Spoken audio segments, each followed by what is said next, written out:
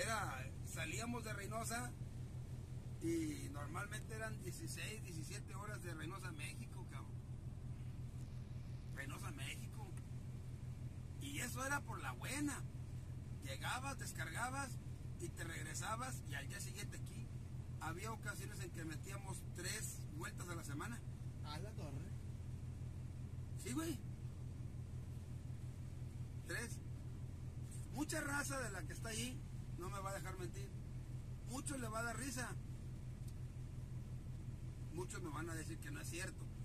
Pero es verdad. O sea, no me importa lo que digan. Pero es verdad. Hubo ocasiones en que una semana metíamos tres vueltas y la otra semana metíamos dos. Más relajado el- la otra semana. O sea, más calmados iban. Sí. Pero había un